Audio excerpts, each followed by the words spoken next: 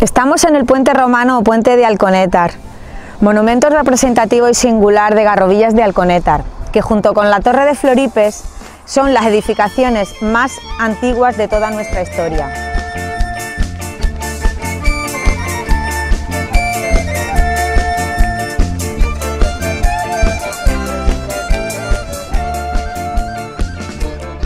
Está situado a la margen derecha del río Tajo, fue trasladado piedra a piedra entre los años 69 y 70 antes de que las aguas del pantano de Alcántara pudieran anegarlo, como ocurrió con numerosos restos arqueológicos que ahora mismo están cubiertos por las aguas. La edificación de este puente es de hormigón romano. Se atribuye al siglo II después de Cristo bajo el emperador romano Trajano o Adriano.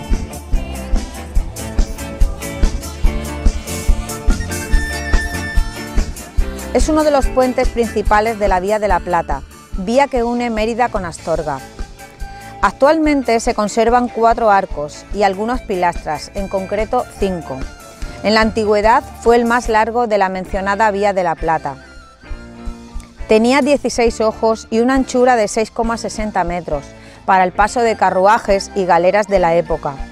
Pero lo más característico y original de este puente son sus arcos escarzados y sus tamajares divididos en cuerpos rematados en cornisas. Se cree que el puente estuvo en uso hasta la Reconquista.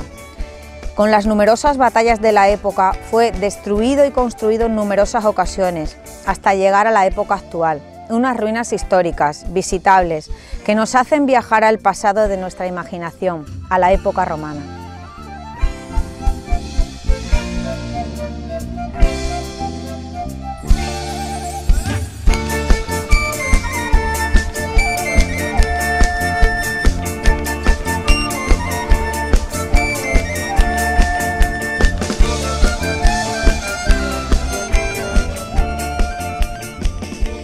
La torre de Floripes, hoy aislada por las aguas, pertenece al castillo construido con sillares del puente del siglo XV sobre uno anterior, de origen templario. Hay quien afirma que los templarios construyeron su fortaleza sobre un templo romano dedicado a los dioses del río. Guardaba el paso del puente de Alconétar hasta que con la construcción del embalse de Alcántara se separan sus destinos. Aquí se argumentó una leyenda medieval, una tragedia de amor y lances caballerescas, que son protagonistas la bella Mora Floripes, su hermano y deseoso amante Fierabras y Guido de Borgoña, caballero de la huésped de Carlomagno, el francés. Guido de Borgoña y la bella Floripes se enamoran y Fierabras, lleno de celos, intenta acabar con ellos. Uno fallece, y la hermosa Floripes se deja morir de hambre y melancolía. La torre guarda aún y por siempre bajo las aguas la receta de su mayor secreto, el bálsamo de Fierabras, que Don Quijote buscó ansiosamente para aliviar su maltrecho cuerpo de dolores y heridas.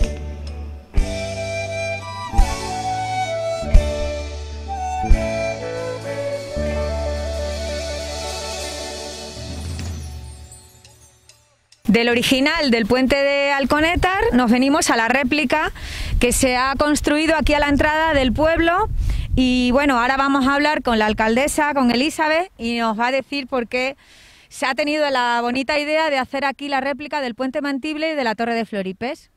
Pues esta idea surge por cambiar toda la entrada del pueblo para tener todo lo más significativo que nos representa a todos los jarrovillanos.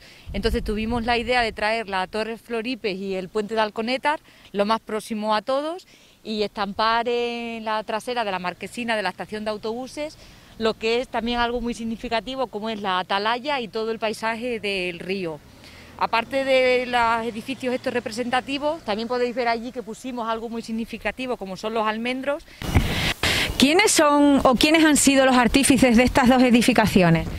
Pues los artífices de estas edificaciones han sido operarios municipales que bueno están eh, son vecinos del pueblo que quién mejor que ellos que son los que conocen nuestras raíces del pueblo eh, entre los operarios que trabajaron aquí estaba Miguel Ángel González Fernando eh, Domingo el encargado marcos y bueno, alguno que se me puede quedar en la memoria, pero ellos fueron los que levantaron los dos edificios.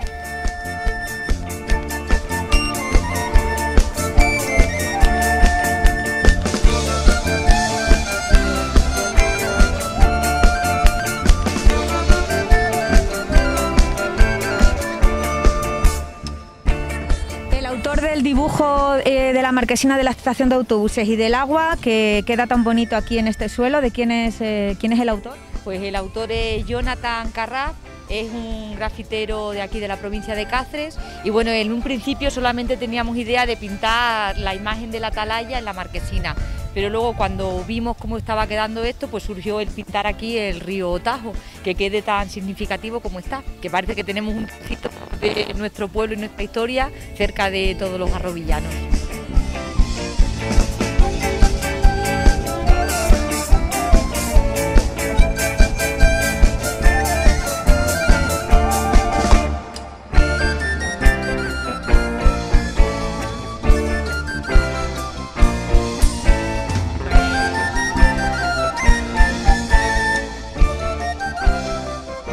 Elizabeth bien nos lo ha dicho que esto es un trocito de nuestra historia de Garrovillas tan representativa y que tanto valor le damos los garrovillanos y todos los que nos visitan. La réplica, la Torre de Floripes y el Puente Mantible o Puente de Alconetar.